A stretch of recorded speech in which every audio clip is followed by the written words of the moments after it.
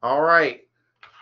We are live, audio and video is recording. Welcome to the last lecture of Engineering 213. You know, it's you. You'd go in, you know, we were in person, you'd go and say, hey, welcome to the last lecture. Everybody starts clapping. You're like, well, I, I didn't think you'd be so happy that the class is over. It's like, I, I see how you feel. Uh, I, am just kidding. Um, okay, so uh, let's get the logistics real quick out of the way. So all the homeworks are graded. All the attendance grades are posted, obviously up until the you know today. Um, you have the at-home game, and I looked on um, Blackboard and on Course Eval, and most of you had completed everything. The one thing that was worth mentioning is that there were a couple of you that had not uploaded the the screen captures. So the way that the the surveys work, I know um, how many completed the survey, but unless I get like a 100% response rate, then I don't know who did it. Uh, that's why you, you, we do the uploads. Um, I emailed everybody in the class a um, uh, uh, that that I didn't see uploads for. I sent everybody an email and said, "Here's the links." And I've heard back from some of you. Uh, th this uh, completion rate was uh, at around like 11 o'clock today. So I think already this this info's out of date. I think we've already had a few more do the course eval uh, and, and, what have you. So um, if you haven't do, uh, done that, please do so. It really does help out with the assessment. Um, and, and, you know, we were joking around at the beginning of class about, you know, how this is the, I guess you all have are my favorite statics class I've ever taught because I, I've only ever taught it once. This is my first time teaching it.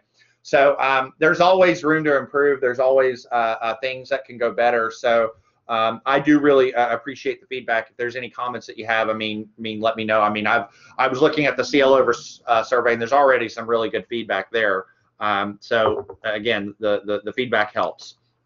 Um, I said I wasn't going to have any uh, uh, real slides today. That I was going to just you know open it up to questions. I did think of something that was worth putting in the presentation. Uh, and that was I went through the the three exams that we had. So if you remember on Blackboard or on Microsoft Teams, I went and uh, after the exams were graded, I posted those little videos where I went through the statistics and I had some suggestions for future exams. And I thought, well, heck, you know, that like this finals comprehensive, let's just throw all those suggestions here together and, and like I said, they're suggestions. They're not like stuff you have to do, but it's just um, stuff I wanted to bring up. And some of it, like uh, you know, you've you've already uh, uh, accounted for in other exams. So, like for instance, um, uh, on uh, uh, exam one, you know, like one of the comments I had was that time management is key, but also focus on the problem weights because we had some really, really long answers for the problems that were only worth a couple points. So make sure that you know you're focusing on the um, the problem uh, weights. You know, give as much time uh, uh, as is necessary for a given problem. Uh, don't use the equation toolboxes in Blackboard to answer the questions. Like, uh, just you know, some of you use like the little thing where you you build the equation, and you could just you know write like x equals two, and that's fine. You don't need to build an equation, and it it probably took extra time to do it, uh, and you can just you know verbally write that stuff out.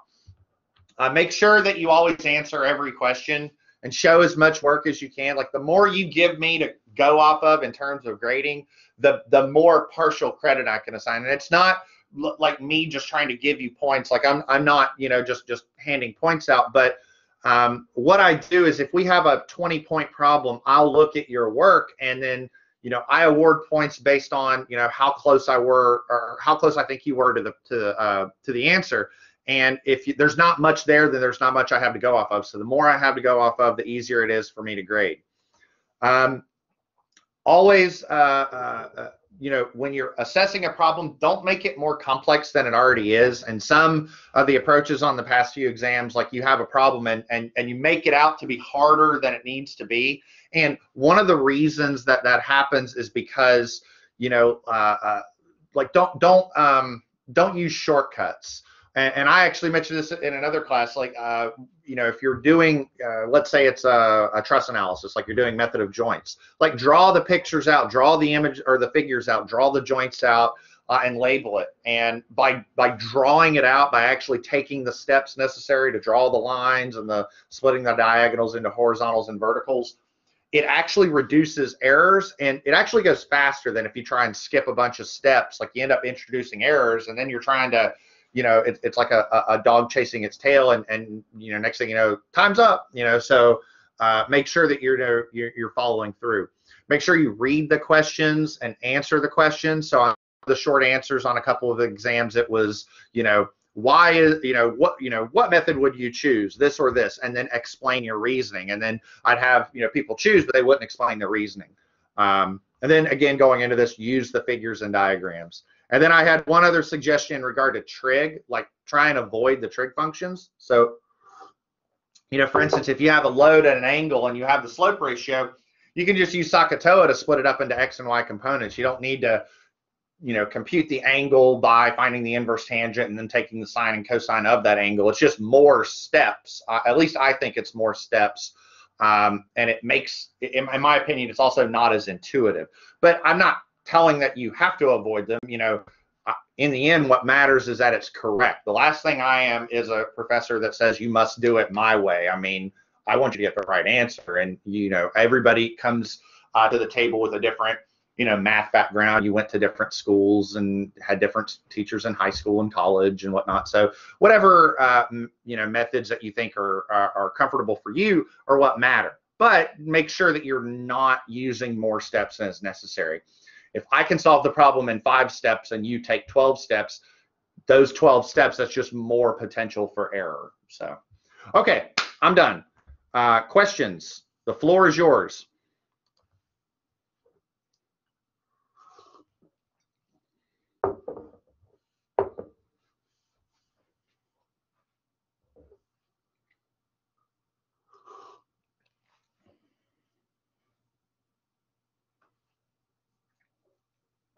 Am I getting off easy?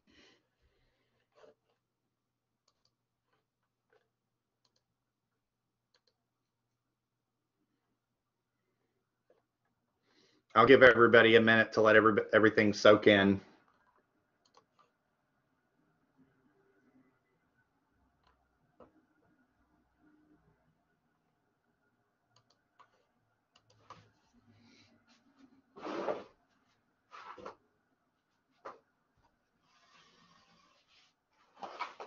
Oh, I'm getting off easy. There's got to be some questions out there. Can we review one of the? All right, hold hold on. Okay, okay. All right. Um, we got a few questions all at once. So, can we review one of the advanced tension problems? Um, before I get to that, I might need you to um, give me an example of what you mean by that because I, I don't know what you mean by advanced tension. But in response to Mr. Morris's question, tell me one more time how it'll be set up. So the the logistics are going to be the exact same as the previous exam, just a little bit longer. Let me tell you what. Let me do something. I'll do one better. Let me give me a second. While I'm doing this, Mr. Page, if you can give me some clarification on what you're talking about, I can I can do that. But give me a sec. Um, this is uploading, so it might take a second.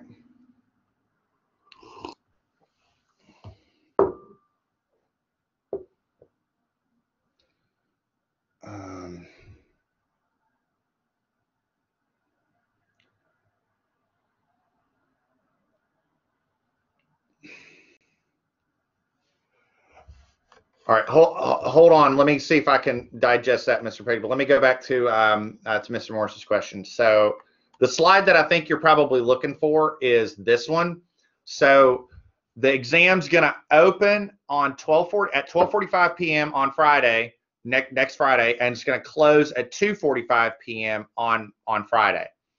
Um, uh, it's designed to be 100 minutes long, but you've got two hours to do it.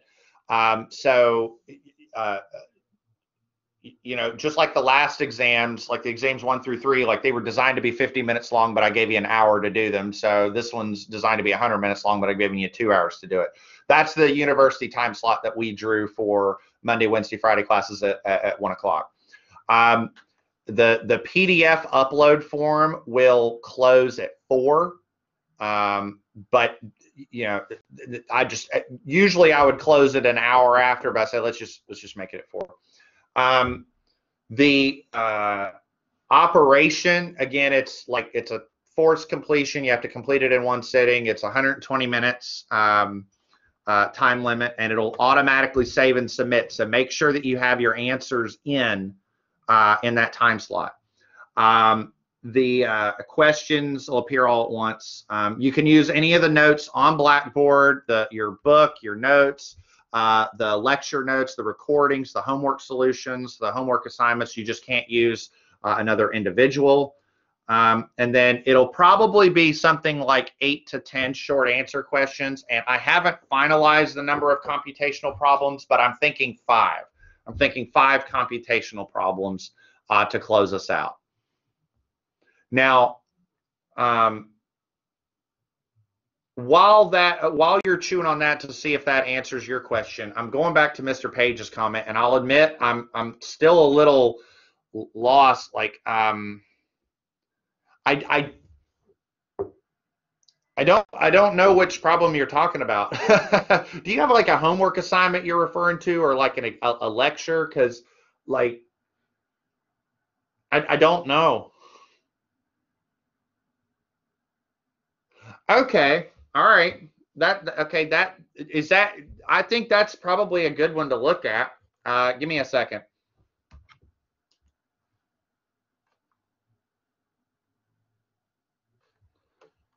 Um,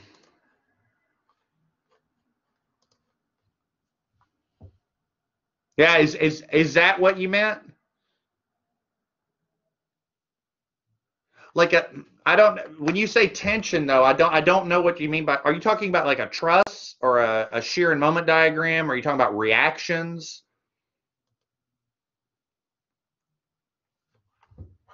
Like, hold on. Let me. Let me.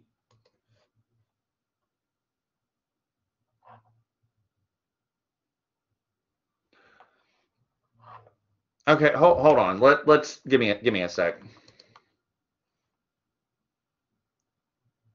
Okay, all right. I I, I think I kind of know what you're talking about now, like from the discussion, but it's fine. Here here's what I'm gonna do. I've got two problems that I think are worth just looking at, and I think that these might go along because there's the the balloon problem, which was uh, I think a really good one, and then there's the um, equivalent force system problem where you take a bunch of forces and you idealize them as a single force in a single moment. And both of those problems involve the the necessary skills going into computing reactions. And i think they'd be really good to look at. So i'm going to look at those uh, if it's all right. And i think that they'll um, that they'll uh,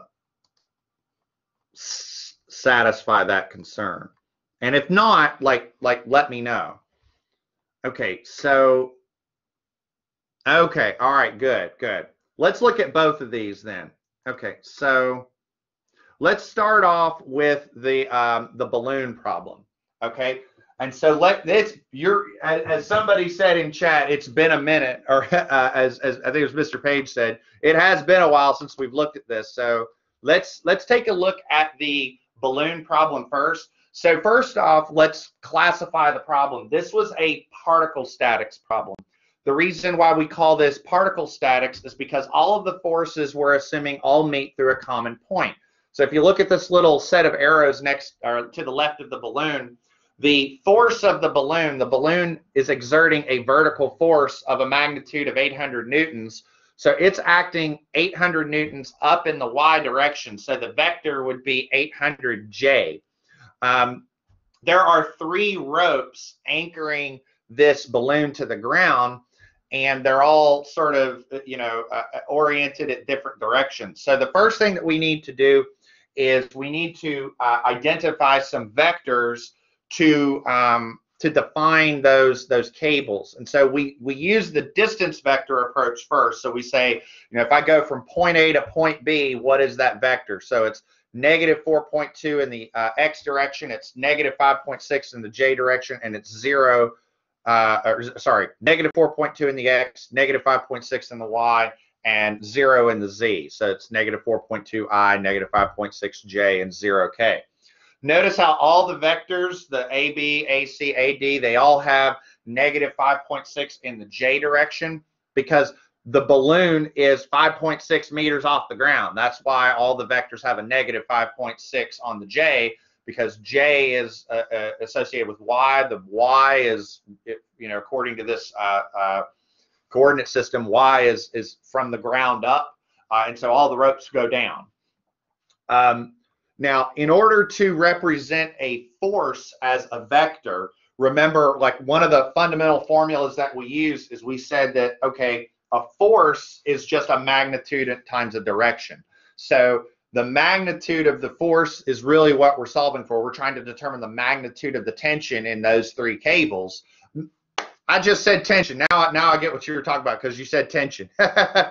um, so we're trying to determine the magnitude of the tension in those three cables. So the magnitudes are the unknowns, but the directions we can figure out because we take the distance vectors, divide them each by their magnitude, right? So you determine the magnitude by just using the Pythagorean theorem in three dimensions, and then you can determine the um, a unit vector by just taking each of those vectors and dividing them by their magnitude. So the unit vectors are unitless. They don't have meters in them.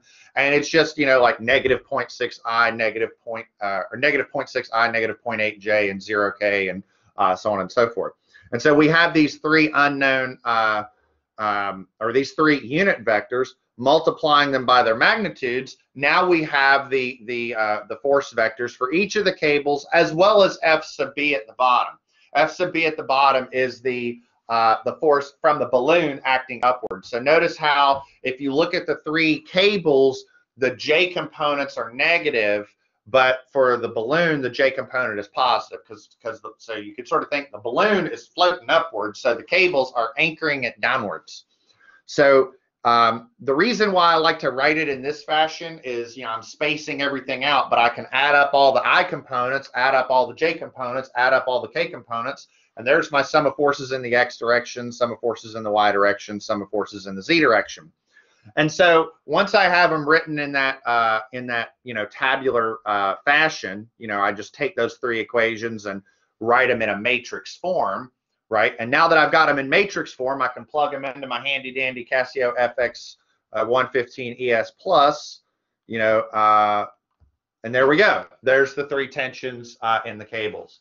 And so, you know, what's your process? So for your unknowns, write a distance vector, then write a unit vector for each of those distance vectors then multiply them by their unknown magnitudes and just use your three equations of equilibrium, collect your like terms, plug it into the Casio. And that's pretty much it. You know, uh, the Casio doesn't know what you're labeling. Like it's just going to report X, Y, and Z. So when you plug it into your Casio, you, you need proper bookkeeping to ensure that your um, you know, like, okay, all the terms associated with TAB are collected together. All the terms associated with TAC are collected together. All the terms associated with TAD are collected together. And so when it says X, you know, X is the first solution, so that corresponds to the TAB. Y is the second solution, so it corresponds to the TAC. And Z is the third solution, uh, so on and so forth. Um, so that would be a, a particle statics problem, and that's like a a beautiful example of an exam one problem. So let me sort of let that stew and, and, marinate for a second. Does anybody have any questions about this example? And then maybe what I'll do is I'll pull up one of the equivalent force system examples because I think the equivalent force system examples definitely exercise the moment uh, uh, muscles, if you will. This is definitely an exercise of the force and vector muscles.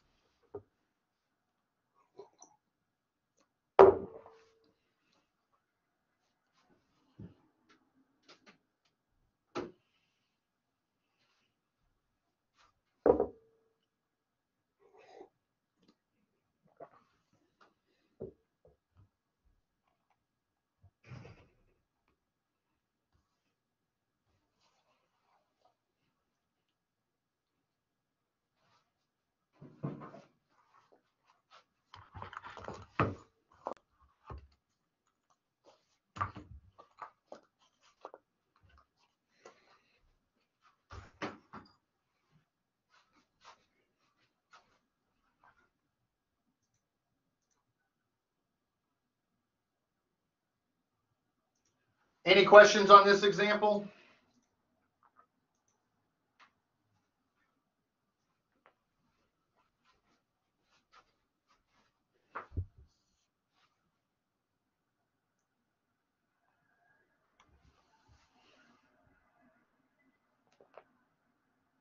Well, no. Wait, wait, wait, wait, wait, wait. Okay, we're talking about two different things here. So, um, this, okay, so when you write this in matrix form here, the goal is to solve the, the, the system. And so in order to solve this system, what you would need to do is find the inverse of this matrix. Now, finding the inverse of a three by three is not impossible to do by hand, but it is a, a, fairly lengthy process, and that's why you need the calculator.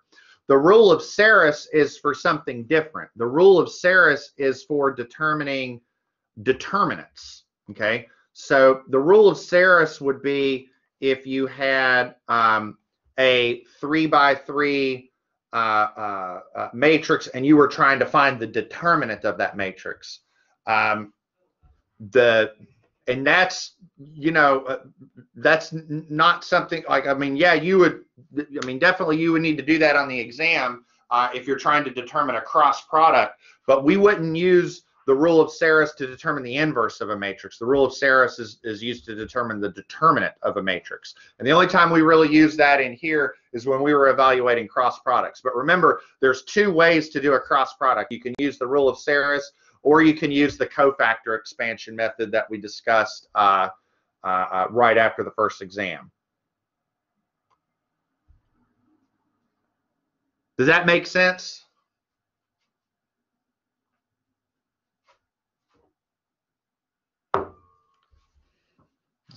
I guess I'm asking if I end up with a three by three matrix.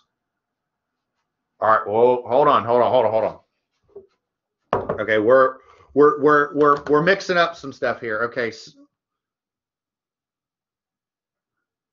All right, hold hold on. We're we're we're mixing up some stuff here. All right, so let let's let's make sure we're we're we're speaking the same language. Okay, so um, in this context for this problem, okay, what we've got is we have a, a square matrix. That's true. But what we're trying to do is solve a system of equations. Me writing it in this fashion is just shorthand term for representing those three equations, equations one, two, and three as three equations, three unknowns. These are a system uh, uh, of equations, okay?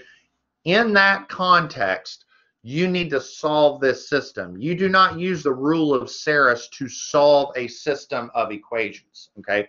To solve the system of equations, you'd either go back to algebra and use elimination, use substitution. You could try and find the inverse of that matrix. What I'm saying is that for a system that's two by two, you could do that by hand. You know, uh, when I'm talking about um, uh, uh, uh substitution and, and, and, elimination, like if you go back to, to my camera, I'm talking about a problem like this, like 2x plus y equals 3, and then like x minus 4y equals 7. You know, this is a two equation, two unknown problem. And so you could represent that in, in matrix form.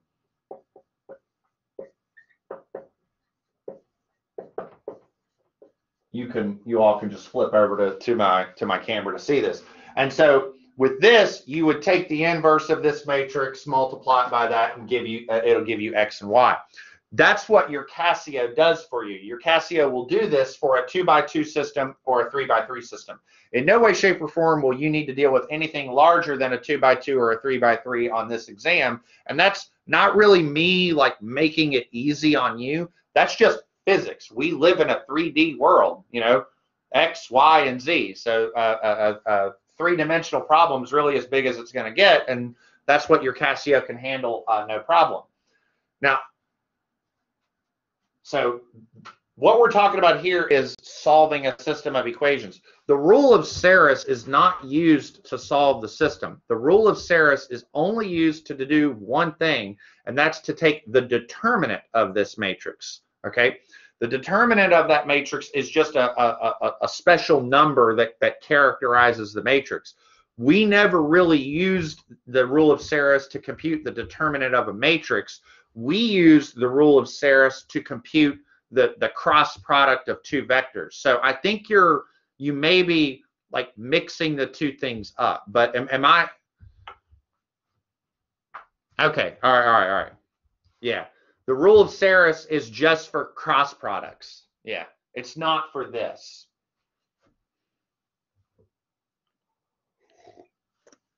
All right. Any other questions about this problem?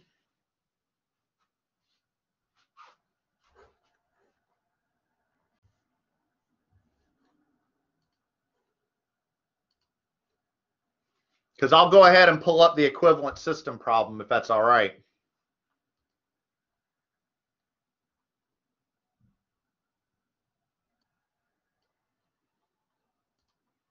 Now, it doesn't, do you all want me to do a 2D problem or a 3D problem? It doesn't matter to me.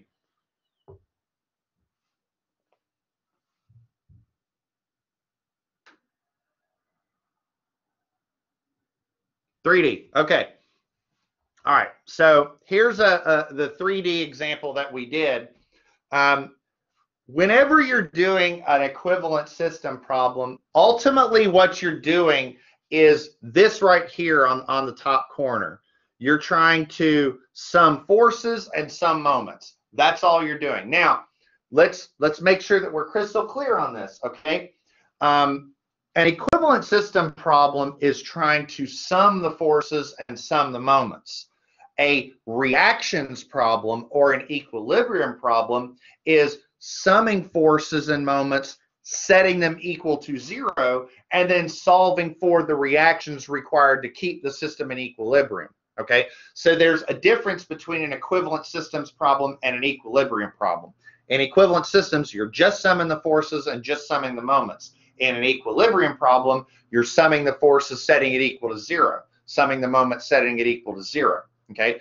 And and the reason is because there's there's different goals okay? With an equilibrium problem you're trying to determine okay i've got a beam or a truss and there's a bunch of forces on it. What are the external forces required to keep the system in equilibrium okay? So for example let's take my office. My office has got a bunch of stuff in it. It's got me it's got my desk my microwave my coffee pot my my fridge my bookshelf. There's a bunch of stuff in my office Okay, so to, to put this in a real world context, an equivalent systems problem related to my office would be let's take all these forces and lump them into just a single force and a single moment. Represent all the loads in my office with just a single vector. Okay.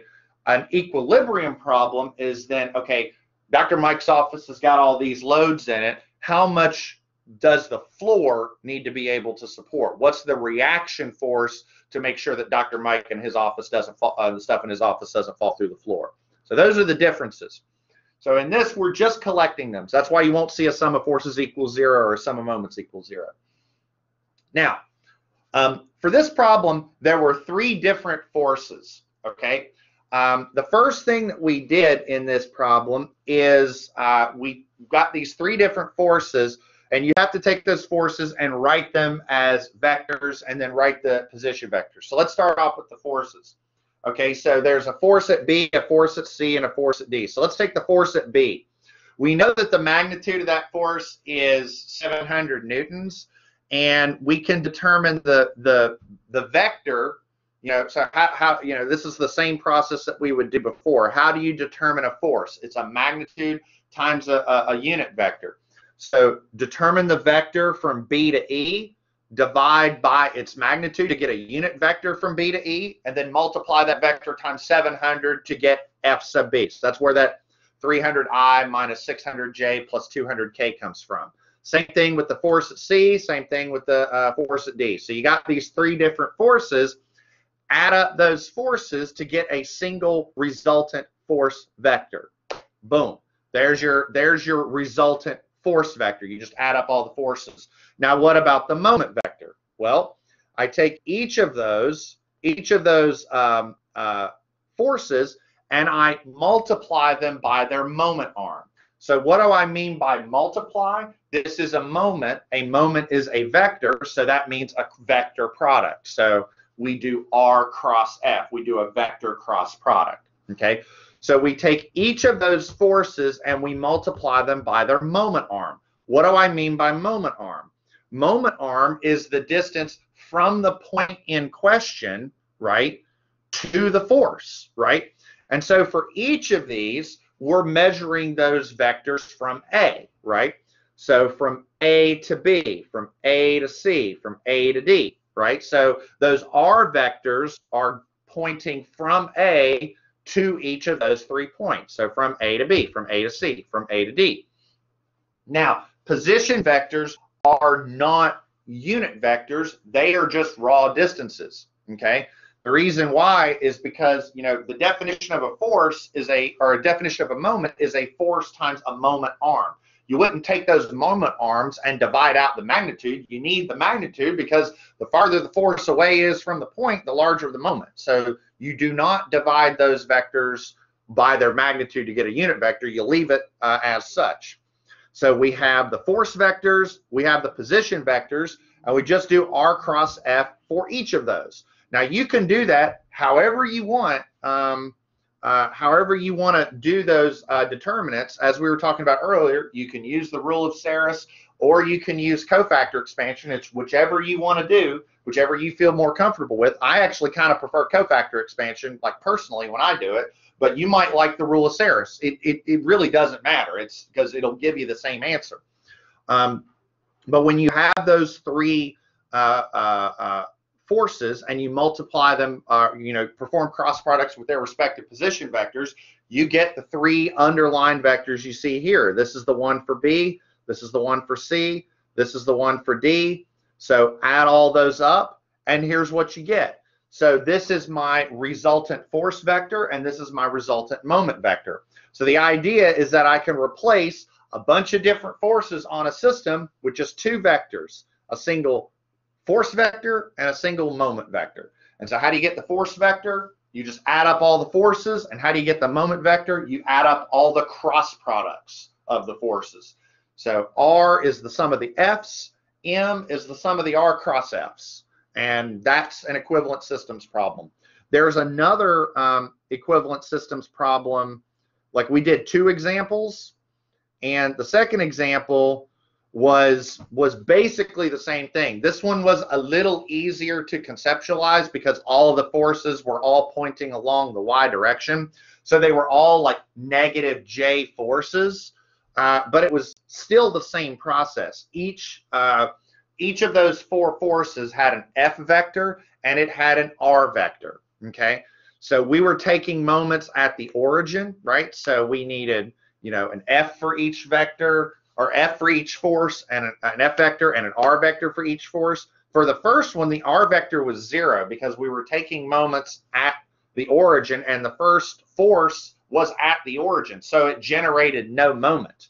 Um, the rest, however, do generate moments. So you just do R cross F for each of those. Do, you know, have your F vector, add up the R's, add up the M's. Boom, there you go. And that's basically it. So I'm going to let that stew and, and marinate for a bit and see if anybody has any questions on that.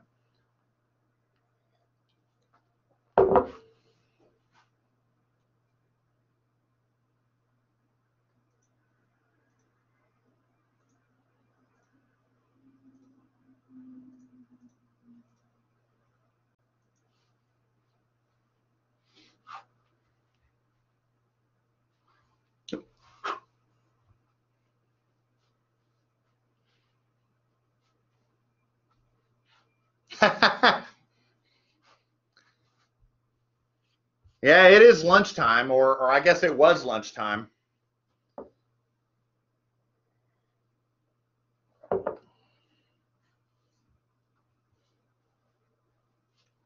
Nah. Well, I'm, I'm drinking my coffee, so.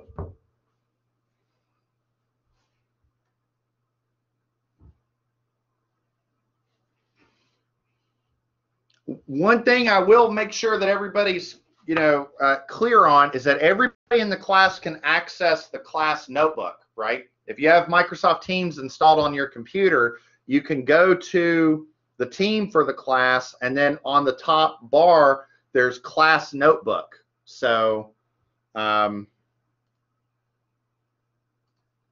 you know, if we go to engineering 213 and then go to class notebook, yeah, all those are right there. Oh, wait, hold on.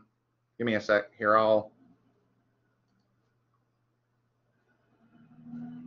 Give me a sec. Let me stop share.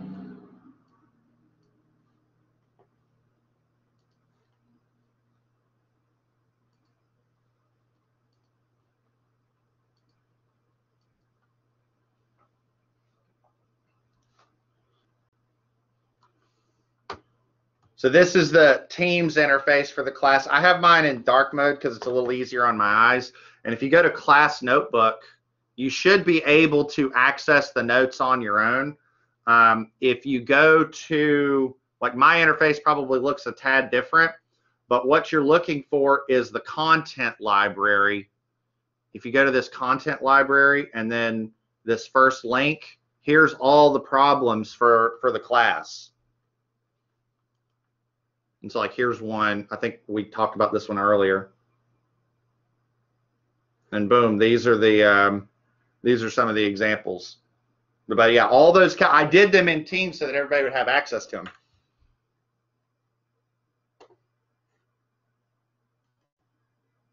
I hope everybody knew that.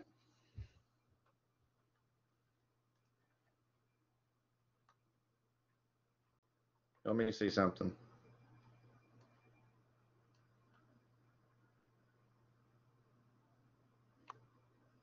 Yeah, I, I, posted a comment on that, but I thought I'd refresh everybody so you know. We still have a few, uh, a little bit of time, so I mean, if there are any other questions, please let me know.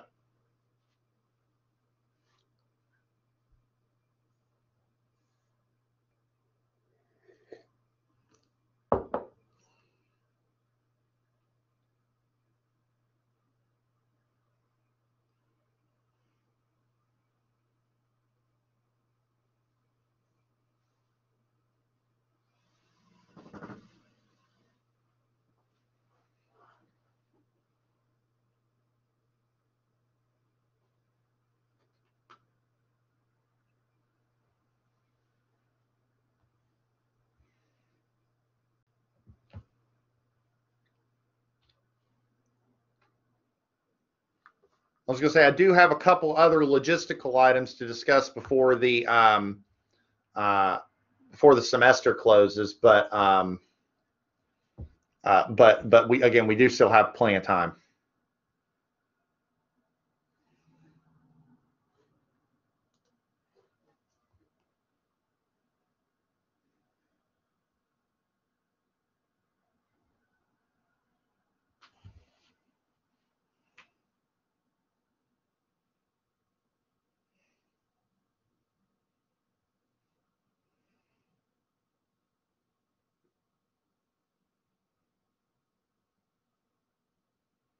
Am I getting off easy? Oh, there's got to be some questions out there.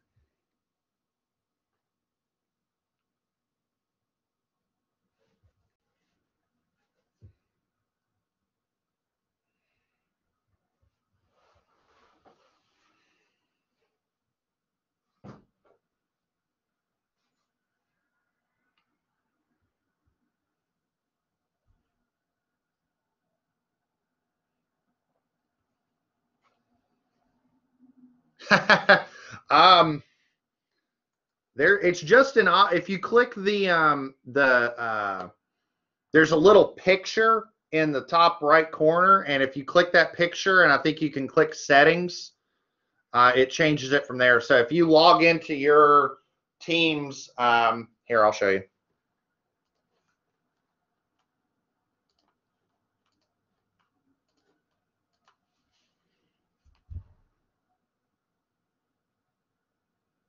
So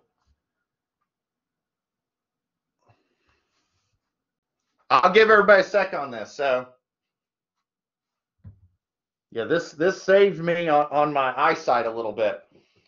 And I'll, I'll actually I'm going to mention one other software program I downloaded recently that I do want to share with the class. This is actually pretty slick. Um, uh, in case you're interested. But um, if you look right here on the very top, there's like a little picture. For some reason, mine isn't popping up. I don't know why.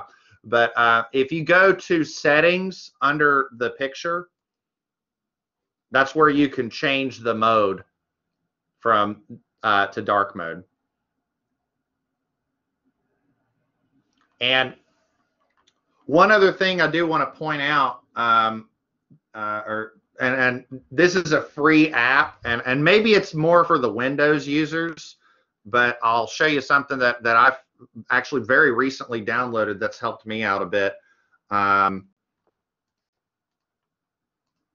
uh, this is a uh, an that I downloaded uh, recently called f.lux. Uh, and I think if you Google it, it's pretty easy to find. But what this basically is, how many of you use the blue light filter on your phone? Uh, or if you know what I'm talking about, it filters out uh, the blue light uh, and it makes the phone a little easier on your eyes. Well, Windows has a native blue light filter, but it's kind of hard to find and it's not as user friendly. Um, F.lux is a uh, it's an app that you can download that um, what it does is it actually uses the um, the sun up and sun down, like the sunrise and the sunset time in your latitude longitude, and it adjusts the blue light filter on your computer based on the um, uh, based on where you're at. And so right now, it's not really doing very much blue light filtering because it's the middle of the day. But as it gets darker, it, will uh, it can um, it can do that. And let me see what it'll do here. Oh, it's it's not doing anything for you, but for me, oh man, it just went like uh, it went very very orange for me just now, um, uh, and whatnot. But yeah, it'll as as the day gets darker, it'll it'll adjust the blue light filter, and it really has helped out. So, and and the only reason I recommend that is because I don't know about y'all, but I've been spending a lot of time on my computer these days. so. Uh, maybe you Mac users, maybe there's like a, a, a, native feature. I think that you can download that for Mac as well. I'm, I'm not a Mac user, but um, I, I found it, it, it's helped out a lot. Yeah, it, it's it's kind of it, it's it's it's a very very simple program, but it's got a lot of features, um, and and for its versatility and the fact that it's free, I thought it was it was pretty slick. Um, any other questions before we uh, before we call it? I do have a couple logistical items I want to discuss before we call it, though.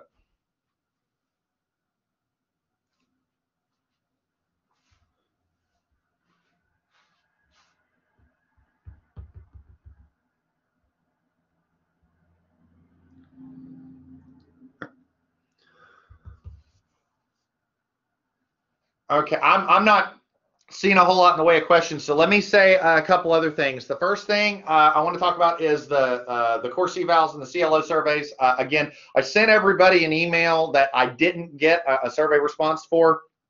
So again, please uh, fill that out. It really does help out a lot uh, with the course development. Helps out with the assessment. Um, that and and free homework points. So so yeah, it it really does help.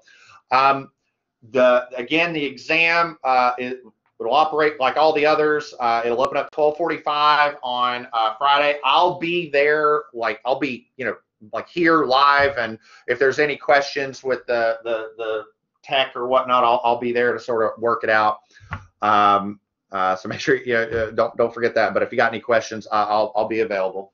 Um, I do have one other sort of, you know, I guess final parting message I want to say before we close out the class. Um, uh, oh, I'm going to do that later today. I, I was going to grade them all at once, uh, but yeah, it, uh, it it actually does raise the, the grade here a, a little bit. Not a, like a lot, but it but it does help a little bit.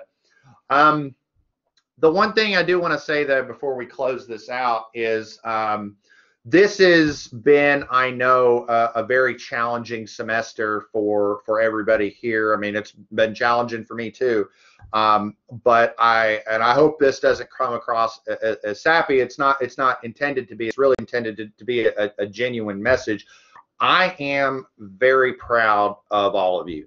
Um, this has been difficult, I know, and and statics. I'm sure that that many of you uh, uh, heard if you uh, have have friends who've taken statics or you have uh, I don't know uh, elders or, or, family members that are engineers. You know, there's statics is always considered uh, that that that weed out make or break class a lot of times in engineering programs, and I know that this is not what a, a lot of folks signed up for. You know. Um, the the pandemic sort of hit us, you know, all at once, and uh, uh, we're all we're all you know making it uh, uh, and and in some instances making it up as we go. Um, but I, gotta say I'm I've been just like like stunned at, at how how well you've done. Um, and I say that with the the honest reflection that I don't know that I could have performed as well as you did if I were in your shoes. I mean, I, I took a couple online classes when I was in college, um, but it wasn't anything like this. And uh, I know that this has been stressful. I know that, um, you know, on top of just the college experience, I mean, life certainly has probably been pretty stressful these, these past few months.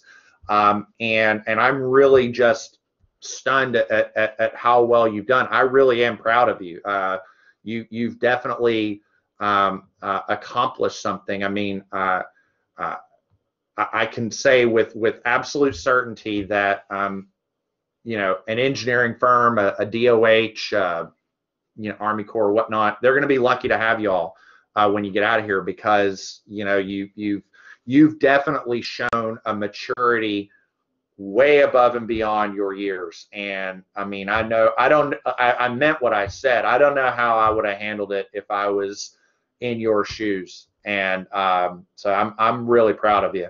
Uh, I am here if you need me. Uh, for you civils, you will have me again. I guarantee it because uh, uh, you know I'm, I'm the structures guy, so you'll you'll have me for your structural analysis and and hopefully some you know structural design courses later.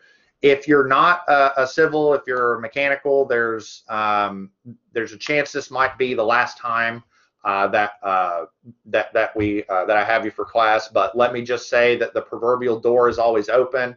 Um, I know nobody's on campus right now, uh, but if you need anything uh, in the future or just want to stop by and see how things are uh, going, my, my door is always open. I, would love to hear from you. Uh, stay in touch. Uh, and with that, I guess uh, I'll sign off. Uh, again, um, uh, you all done very well. I hope everybody, you know, I, I, wish you best of luck on your finals, and, and I hope everybody has a relaxing break. Um, do me a favor, and I've told this to all my classes, take take the break. I mean, you know, we've got a, a long uh, a winter break coming up. You know, because of our adjusted calendar, the winter break's longer than it than it normally or it has been in previous years. So I really do hope that you get some rest and relaxation in, uh, and and that you're able to to recharge and and, and fire it up for the spring semester. Uh, and that's all I have, everybody. Uh, if you need anything, again, let me know. Best of luck on the final, and uh, we will see you. Um, I, I appreciate that. Thank you. Um, and uh, I, hope uh, that everybody's enjoyed statics. I hope you, you've taken something out of it. This is a really important topic in engineering, and so I, I really, you know, take it seriously, and I, I want to make sure that you you've gotten your money's worth. Um, and so that's all I have. Uh, I will see you all next week. Best of luck on your finals, and and I, I wish everybody a wonderful break. That's all I have. We will see you all. Uh, I'll see some of you, uh, you know, in, in future semesters. So. That's all I got, everybody. We'll see you. Thank you. Thank you.